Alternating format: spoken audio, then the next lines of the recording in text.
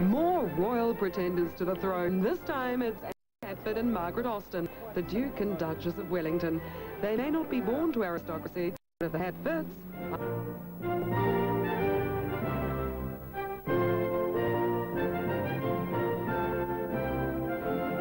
I really started dressing up at university, I think, you know, when I started with Alf's Imperial Army, and I went to the School of Wizards, you see, originally, at Melbourne University.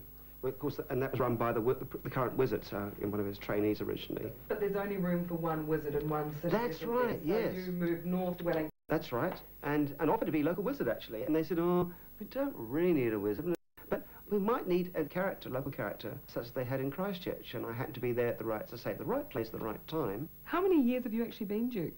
16 years now, since about 1981. Occasional, it does, but it's, it's interesting, because it amuses us, you know, and you think, you might say, uh, I think Chesterton said, truth is a, to me, this is, this is the truthful way of living, you might say.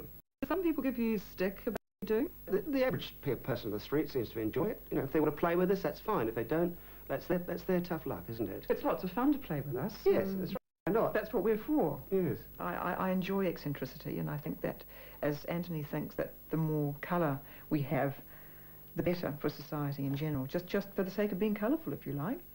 Colourful? Mm, well, that's one way to describe Margaret's past. She has been, among other things, a Sunday school teacher and an exotic dancer with a Folies Bergère.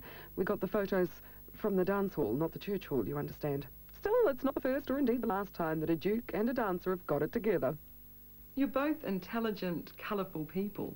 Some would say that you could use your undoubted energy and style and for something slightly more mainstream than pretending to be a Duke and Duchess of Wellington. I don't think we're pretending to be. I, mean, I think we, I think we are accepted as a local Duke and Duchess. Um, that's, yes, what, that's my answer to it, really. Hmm. Yes.